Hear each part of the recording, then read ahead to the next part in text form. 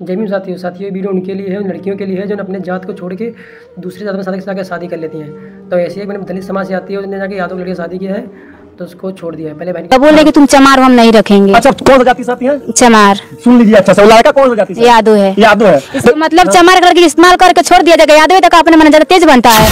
नहीं छोड़ के तो भाग गया। बोल रहा हम तुम कौन हो? हम तुमको जानबे नहीं करते हैं। आज आपको बोला कि मैं नहीं जानता हूँ। देखबे नहीं कि तुमको पहली बार हम देख रहे हैं। मुखिया सरपंच सामने मारपीट हुआ हुआ है। मैं उसका मेरे पर सब कोई हमको मार दिया लेकिन मुखिया सरपंच ये नहीं बोला कि कहे सब करे तो कैसे मुखिया है यादव यहाँ के? तो मुखिया जी यादव है। हाँ यादव है वो यादव का पक्ष लेते हैं। देखा दोस्तों ऐसे ही होता है। जो कोई भी लड़की अपने जात को छोड़ के जाती है समाज को छोड़ के जाती है तो उसके साथ में यही होता है। तो प्लीज़ मेरे हाथ जोड़ के रिक्वेस्ट है कि भाई आप लोग ऐसा ना करें।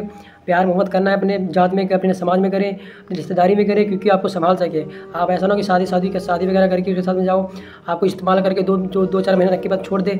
तो ऐसा बिल्कुल कदम मत करो, ठीक है? आप लोग शादी वगैरह करना, अपनी रिश्तेदारी में करो। और आप लोग बताओ कमेंट करके बहन के साथ अच्छा हुआ कि गलत हुआ। अगर आप लोग चाहते हैं कि ऐसा किसी साथ में ना हो तो वीडियो को शेयर ज़रूर कर देगा, ठीक है? लाइक करें चाहे करें।